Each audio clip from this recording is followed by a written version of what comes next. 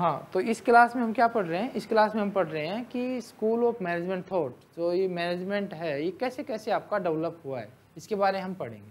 तो आ, सबसे पहले है आपके पास हमने इसको चार पार्ट में डिवाइड कर दिया।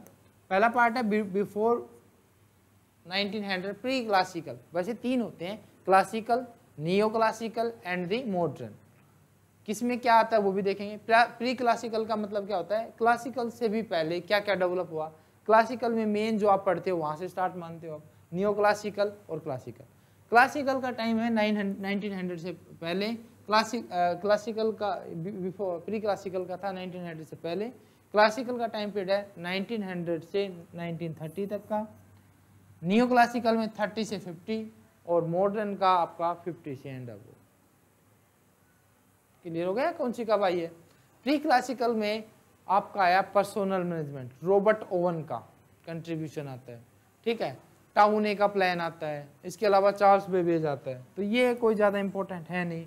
रॉबर्ट ओवन चार्ल्स बेबेज और आपके हेनरी रोबिन्सन टाउन ये सब आते हैं।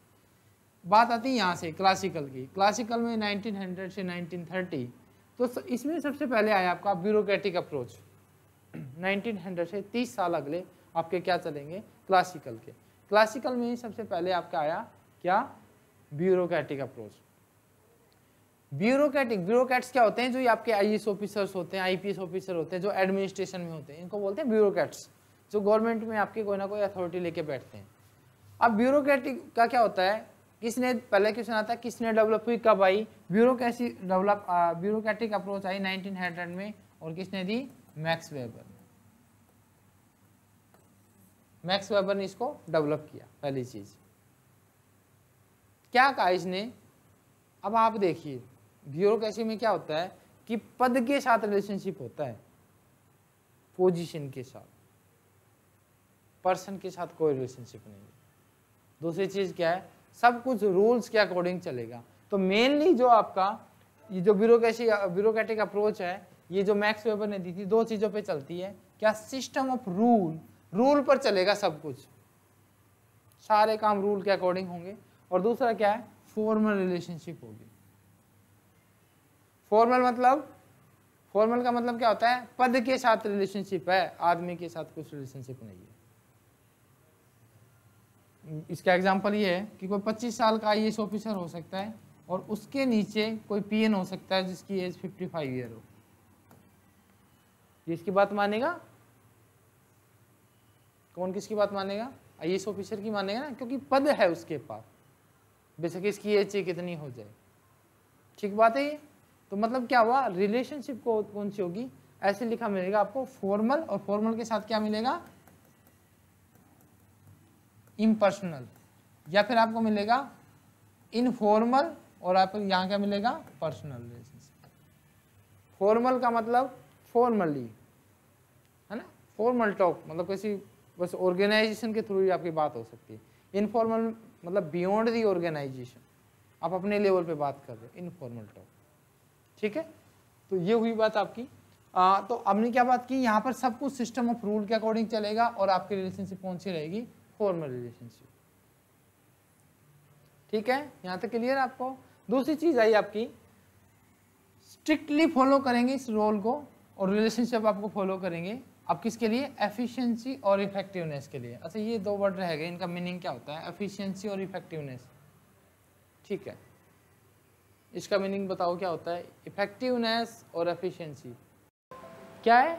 Effectiveness is related with the quality and efficiency is related with the cost and time ठीक है? इतनी सी बात याद रखिए। ओके आ, उसके बाद आई आपका क्या क्या फीचर्स है इसकी? देखो, अभी आपने कहा कि एडमिनिस्ट्रेटिव क्लासेज होती है। कौन क्लास वन ऑफिसर होंगे, कौन क्लास टू ऑफिसर्स होंगे और कौन किसकी बात मानेंगे, कौन सबॉर्डिनेट होंगे। सेकेंड वन स्पेशलाइजेशन होता है। अब कोई किसी में पॉलिसी फॉर्मुलेशन में स्पेशलाइज है, कोई किसी चीज़ में है तो स्पेशलाइजेशन होता है। तीसरा आपका हिरैरकी होती है कि कौन टॉप लेवल पे होगा, कौन इसके नीचे मैनेजर्स काम करेंगे और कौन किसकी बात को फॉलो करेंगे। सिस्टम ऑफ़ रूल अभी जो आपने पढ़ा, ठीक है? ऑफिशियल रूल्स होते हैं, है ना? उसके अलावा आपका क्या है? सारा जो रिलेशनशिप होता है वो इम्पर्सनल होता है। रिलेशनशिप कौन सा होगा आपका? इम्पर्सनल रिलेशनशिप होगा। ट्रेंड एम्प्लॉय होंगे।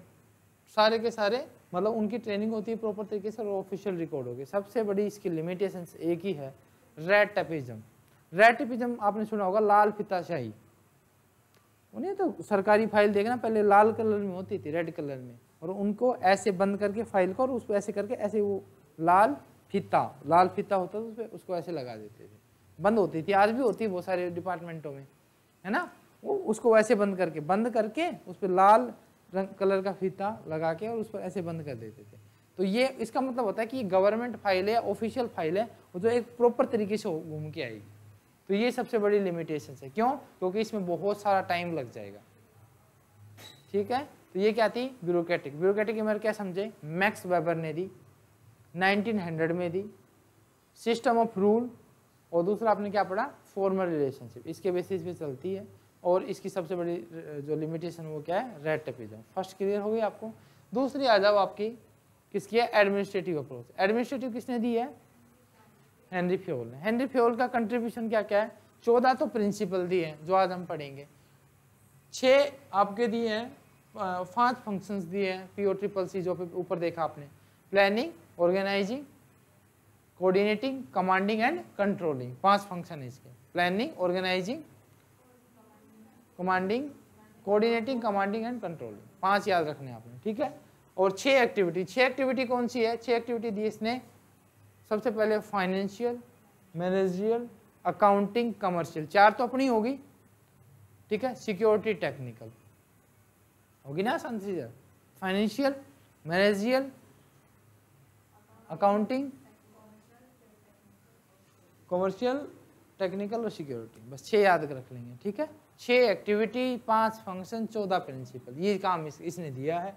फोर्टीन प्रिंसिपल में फ़र्स्ट प्रिंसिपल आपका आता है division of work division of work क्या कहता है? कि आपको किसी भी मैनेजर को किसी ऑर्गेनाइजेशन में एक किसी भी पर्टिकुलर टास्क के डिफरेंट स्पेयर बना दो पार्ट बना दो। और हर एक पार्ट के लिए एक पर्सन अपॉइंट कर दो, या एक ग्रुप ऑफ़ पर्सन अपॉइंट कर दो। उन ग्रुप उन ग्रुप का काम है या उस पर्सन काम है, वो काम बार बार करना। वो हर बार वही काम करेंगे। फॉर एग्ज़ाम्पल जैसे एक कार बन रही है। कार बन रही है तो भाई कोई उसकी सीट बनाएगा, कोई कुछ बनाएगा। ये नहीं कि अगर दस कार बनानी है तो एक कार आप बना लो ऐसे नहीं। कोई टायर लगाएगा, किसी को कह दिया आपको सीट फिट करनी है, किसी को कहा कि आपको ये करना है, किसी को इंजन का काम करना है। तो इस तरीके से डिवाइड करना है। तो ऐसे वो लगातार काम करते रहेंगे तो क्या हो जाएँगे? स्पेशलाइज स्पेशल स्पेशलाइजेशन का मतलब उसमें एक पर्टिकुलर स्किल्स आ जाएगी। उसमें काम करते रहेंगे। ठीक है? दूसरा आता है डिसिप्लिन आप प्रॉपर डिसिप्लिन से काम करें। डिसिप्लिन मतलब वेल well आपकी टाइमिंग होनी चाहिए। उस टाइमिंग पे आपका काम स्टार्ट हो जाए। पूरे तरीके से काम करो। इफेक्टिवली काम करो। एफिशिएंसी के साथ काम करो। तो उसको क्या बोलते हैं? डिसिप्लिन में आपका काम हो रहा है। तीसरा आया, आपके पास कोई भी काम दिया गया जिसको बोलते हैं रिस्पॉन्सिबिलिटी जैसे आपके घर वाले कह दे कि आपको ना जे करना है इस बार ही करना है, या आपका मन कह रहा है। आपका मन कह रहा है कि आपको जे करना है। ना या आपको प्रोफेसर लगना है। लेकिन आपने अपने आप को अथॉरिटी नहीं दी अपने आप को ही अथॉरिटी नहीं दी। मैं ये कह रहा हूँ, आपने अपने आप को नहीं दी अथॉरिटी कि आप दूसरों को, जैसे आपके पास लोग आके बैठ जाते हैं, ऐसे मान लो आपको और लोग डिस्टर्ब कर रहे हैं, आपकी लाइफ डिस्टर्बेंस चल रही है किसी तरीके से। आपके पास ये अथॉरिटी नहीं है कि आप उसको रिमूव कर पाए तो आपका काम होगा ही नहीं ध्यान से सुनना मैंने क्या कहा। आप, मैंने आप में ही बता दी सारी बातें। मैंने कहा कि आपने अपने आप को रिस्पॉन्सिबिलिटी दी कि आपको ये काम करना असिस्टेंट प्रोफेसर लगना है जल्दी जल्दी पीएचडी करनी ये सब चीज़ें आपने कर ली। लेकिन आपने अपने आप को अथोराइज नहीं किया कि अगर कोई भी अब मेरे को डिस्टर्बेंस करेगा डिस्टर्बेंस होंगी मैं किसी चीज़ से तो मैं उसको सेपरेट कर लूँ। तो आपका काम नहीं होगा। यानी कोई भी काम करना है तो उसके लिए प्रॉपर अथॉरिटी और रिस्पॉन्सिबिलिटी साथ साथ चलेगी। ठीक है? ये कहता है कि कोई रिस्पॉन्सिबिलिटी किसी को दी गई है तो अथॉरिटी भी प्रॉपर दी जानी चाहिए। ठीक है? नेक्स्ट आया आपका unity of command unity of command का क्या मतलब है? यूनिटी ऑफ़ कमांड का मतलब है, एक पर्सन को एक टाइम में एक ही ऑर्डर मिलना चाहिए। ठीक है? आपके पास ये प्रॉब्लम हो सकती है। प्रॉब्लम क्या है? इधर आपकी मम्मी है, इधर आपके पापा है और आप ये यहाँ पर हो। मम्मी ने कह दिया, खाना बना लो। पापा ने कह दिया, ये सामान ले आओ। बाहर से लेके आना आप पर क्या क्वेश्चन मार्क लग गया? किसकी बात को प्रायोरिटी दे? चलो, आपने पापा की बात को प्रायोरिटी दे दी। आपने बाहर से ले गए और आधा घंटा लग गया। आधा घंटा लग गया और मम्मी आपकी आपने कहा कि अपने ऐसे मान लो, ऐसे बता रहा हूँ मैं आपको, दोनों अथोराइज पर्सन है। है ना दोनों को अथॉरिटी आप पर है? तो आप, आपका क्या आया? मम्मी ने आते कह दिया कि आप पहले खाना बना के चले जाते ऐसे हो जाता है। किसकी बात को प्रायोरिटी दे? होगी ना प्रॉब्लम फिर क्या होगी? ले, मेरी बात नहीं माननी। है ना? जिसने मेरी बात नहीं मानी तो आप प्रॉब्लम में आ गए कहीं ना कहीं। अब होना क्या चाहिए? एक टाइम में आपको एक ही कमांड मिले। आपके माइंड में डाउट तो नहीं आएगा किसकी बात को प्रायोरिटी दे। आपने इनकी बात को प्रायोरिटी दी, तब भी हो गया, इधर दी तो भी हो गया। इसी तरीके से आपके मान लो दो बॉस है, एक एक्स वन है, एक एक्स टू है, और इनका एक एम्प्लॉय है वाई इसको ऑर्डर मिला एक्स से भी वाई से भी। किसकी बात को प्रायोरिटी दे? इसकी बात मान ली तो इससे नाराज़ इसकी मान ली तो ये नाराज़। डिस्प्यूट तो होना ही है ना, फिर आपका क्या होगा? ये कहीं ना कहीं लैक कर जाएगा। तो यूनिटी ऑफ़ कमांड का मतलब होता है, एक ही कमांड मिलना चाहिए एक टाइम पर एक बॉस से। बात आई यूनिटी ऑफ़ डायरेक्शन। डायरेक्शन का मतलब क्या होता है? कोई काम, जैसे कि बस ड्राइवर है आपके पास। बस ड्राइवर, आपका, आपको ना कहीं बाहर जाना था, जैसे घूमने के लिए आपने, ऐसे कह लिया, राजस्थान में जैसलमेर जाना आपने। और जैसलमेर जब आप गए तो ड्राइवर को दो बंदे इंस्ट्रक्ट कर रहे एक टाइम पे। नहीं, ये रोड ठीक रहेगा, ये कह रहा है, ये रोड ठीक रहेगा। क्या प्रॉब्लम आएगी? किसकी बात माने? वहाँ पे प्रॉब्लम आई ना। लेकिन यहाँ पर क्या प्लान आ गया? प्लान क्या आ गया? वहाँ पहुँचना है। और वहाँ पहुँचने के लिए भाई उस प्लान को कौन कोऑर्डिनेट करेगा? कहाँ, किस होटल पे आपको गाड़ी रोकनी है? कहाँ पर खाना खाना ये सारी चीज़ें। अगर एक ही हेड रहेगा, एक प्लान का तो वो एफिशिएंटली काम करेगा। मतलब वो प्लान उसके अकॉर्डिंग चलना चाहिए। One plan one head related with the unity of direction and one command from one boss is related with the ठीक है? बॉस वर्ड आते ही आपका कमांड आ गया। बॉस तो कमांड ही देगा। डायरेक्शन का मतलब प्लान को डायरेक्शन दी जाती है तो वो आपकी आ जाएगी unity of direction unity of direction अगर आपको ठीक है डायरेक्शन ठीक है मिला तो इससे क्या बनेगा? टीम स्प्रिट और टीम स्प्रिट को क्या बोलते हैं? एसपी डी कोप्स जो आपका फोर्टी नंबर का प्रिंसिपल बनता है, सहयोग की भावना वाला, ये वाला, ये इसी का एक्सटेंशन है एसपी डी कोप्स इसका मतलब क्या है? कि यूनिटी ऑफ़ डायरेक्शन का क्वेश्चन क्या आएगा? यूनिटी ऑफ़ डायरेक्शन का एक्सटेंशन क्या है? Esprit de corps first thing इसका मतलब क्या है? जब आपका डायरेक्शन ठीक है यूनिटी ऑफ़ डायरेक्शन ठीक तरीके से है तो आपका क्या होगा? कोऑपरेशन बनेगा टीम स्पिरिट बनेगा। ठीक हो गई बात? तो ये ये आई आपकी एसपी डी कोप्स की बात। ठीक है? उसके बाद आया आपके पास यूनिटी ऑफ़ डायरेक्शन एक आया subordination of individual to general interest इसका मतलब क्या है? कि जर्नल आपका एक तो होता है कि खुद का इंटरेस्ट हो। इंटरेस्ट का मतलब क्या है कि आपका अपना हित हो, कोई काम करने में आपका बेनिफिट हो। एक हो पूरी पब्लिक का बेनिफिट पूरे ऑर्गेनाइजेशन का। तो आपको प्रायोरिटी किसको दी जानी चाहिए? एक मैनेजर को किसकी प्रायोरिटी दे, देनी चाहिए? खुद की या सबकी? जनरल इंटरेस्ट की, है ना? तो ये क्या कहता है? प्रायोरिटी देनी चाहिए जनरल इंटरेस्ट की। जो भी जिसका जो काम है, उसके लिए प्रॉपर रेमोरेशन आपको सैलरी देनी चाहिए। ठीक है? सेंट्रलाइजेशन सेंट्रलाइजेशन का क्या मतलब है? सेंट्रलाइजेशन मीन्स कि जितनी भी पावर है की रिलेटेड सारी अपने पास रखना it is called centralization decentralization distribution distribute कर देते हो आप अपनी power authority to others subordinate में.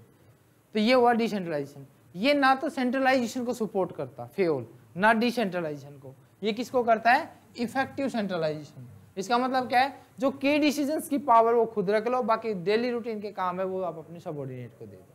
तो ये क्या है आपका? सेंट्रलाइजेशन की कंसेप्ट उसके बाद आया स्केलर चेन स्केलर का चेन का मतलब क्या है? कि अब मान लो ये आपको एक ग्राफ दिखाई दे रहा है कि यहाँ पर टी परसेंट है, ये जेड है, ये वाई है, ये एक्स परसेंट है, जो सभी का बोस है सी मान लो, और ये ए बी डी अब यहाँ से कोई इन्फॉर्मेशन टी को आनी है तो ये नहीं कि डायरेक्ट कॉन्टेक्ट कर लेगा। कैसे आएगा? बी से ए को ए से एक्स को एक्स से वाई को वाई को जेड को और जेड से टी को। इस प्रोसेस से होते हुए आइए। फेवर ने कहा इसको स्ट्रिक्टली फॉलो करो। स्ट्रिक्टली मतलब इसको कभी भी ब्रेक नहीं होनी चाहिए लाइन लेकिन क्या होता है?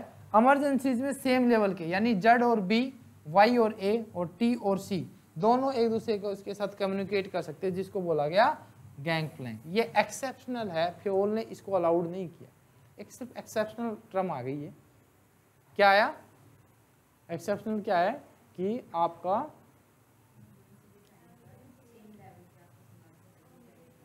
ये जो फेओल की ये है ना फेओल ने जो स्केलर चेन दी है, इसको मस्ट फॉलो करना चाहिए फेओल ने कहा। ये ब्रेक नहीं होनी चाहिए।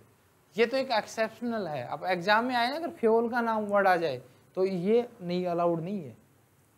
सुनो मैंने क्या कहा। फ्योल के अकॉर्डिंग क्या है? देखो, फ्योल ने ये कह रखा है कि must follow this order by Fayol. Fayol ने क्या कहा? इसको पूरा आपको फॉलो करना है। ठीक है? उसके बाद क्या है आपका? ऑर्डर ऑर्डर में क्या है आपके पास? ऑर्डर का मतलब होता है हर एक चीज़ की एक प्लेस है और उस प्लेस उस प्लेस पर ही वो चीज़ होनी चाहिए। जब बुक्स कहाँ मिलेगी लाइब्रेरी में तो लाइब्रेरी जाते हो आप बुक्स के लिए, खाना खाने। होटल में या रेस्टोरेंट में, इसी तरीके से जाते हो ना? आपके घर में कहाँ होता है? किचन में मतलब समझो बात को। क्या कहता है कि हर एक चीज़ की एक प्लेस है, वो उस प्लेस पर होगा तो ही आपका ठीक होगा। ये कहता है right man should be at right place एक ये देखो, हर एक आदमी का एक प्लेस है, वो उसी प्लेस पर होना चाहिए। फॉर एग्ज़ाम्पल मान लो आप योग्य हो किसके? असिस्टेंट प्रोफेसर बनने के, और आप नहीं लगे तो ये गलत बात है। मतलब जब पोजीशन जिस पोजीशन के लिए आप लायक हो, वो पोजीशन आपको मिले। बहुत सारे मिनिस्टर्स ऐसे होते हैं जो उसके लायक नहीं होते। लेकिन वो उस पोस्ट पे होते हैं। फिर क्या होता है? ऐसे डिसीज़न लेते हैं फिर वो। बात समझ में आई मेरी?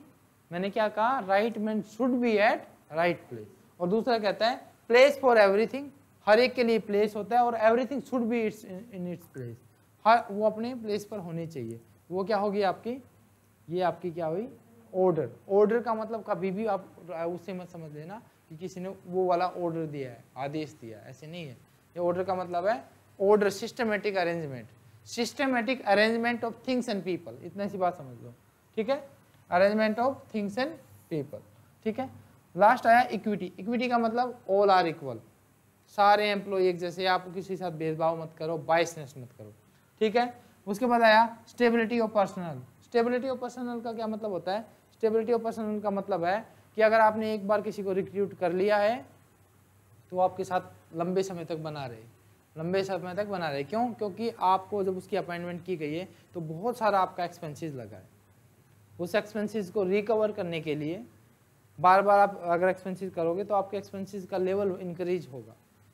रिकवर करने के लिए ग्रोथ के लिए आपको एक पर्सन को लगातार अपॉइंट मतलब उसकी लंबी समय तक अपॉइंटमेंट होनी चाहिए। क्योंकि आपने उसको काम सिखा दिया, वो समझ गया, वो चेंज करेगा तो कहीं ना कहीं नुकसान होगा। इनिशिएटिव इनिशिएटिव का मतलब है आप चार बैठे हो, मैं कोई क्वेश्चन पूछ रहा हूँ आपसे, आप में से सबसे पहले कौन आंसर देगा?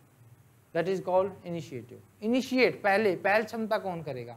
और लास्ट में मैंने बताया था esprit de corps cooperation team spirit आप में टीम भावना होनी चाहिए, जैसे आप चार बैठे हो, आप चारों क्या कर रहे हो? एक दूसरे को कोऑपरेट करो, ना कि कंपटीशन करो। फेयर कंपटीशन विद कोऑपरेशन दो चीज़ें समझा फ़र्क। कोऑपरेशन भी करो, लेकिन फेयर कंपटीशन के साथ। तो ये क्या दिए? फोर्टीन प्रिंसिपल दिए किसने? हेनरी फ्योल ठीक है? आया समझ में?